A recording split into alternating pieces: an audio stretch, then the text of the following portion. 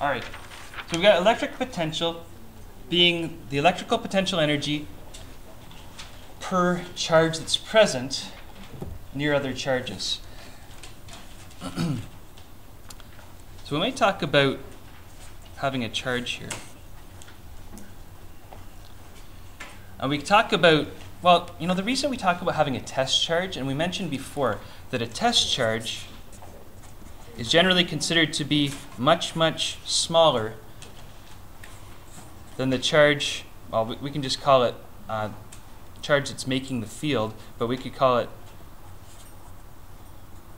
that's not a good subtitle, but it's the, the charge that's, that's causing the field to occur, or the set of charges that's causing the field to occur.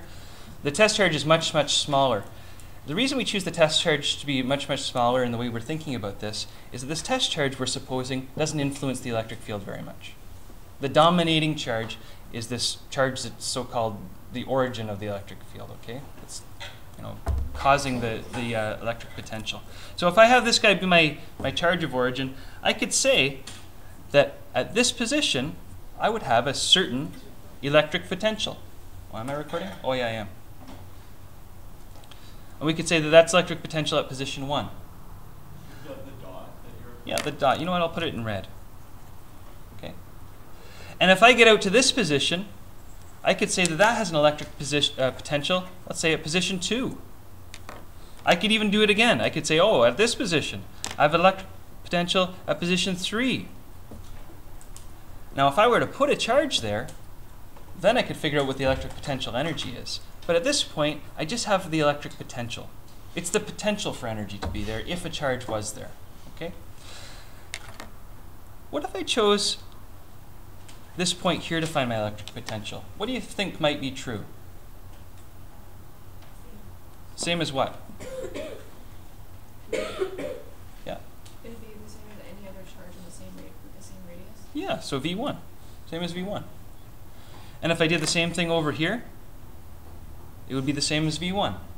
And if I did the same thing here, same as V1. And the same thing here, and the same thing here, and the same thing. Look at this. Anything that has the same radius would have the same electric potential.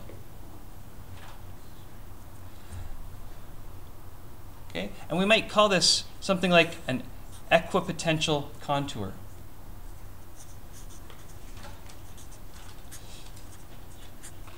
We could call it an equipotential contour. But guess what? Is this in two dimensions? Do charges just sit in two dimensions?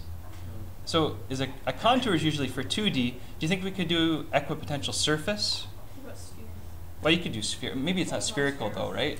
This one, this one happens to maybe be a sphere because it's just a sim- simple charge. But let's call it an equipotential surface. In this case, it's a sphere.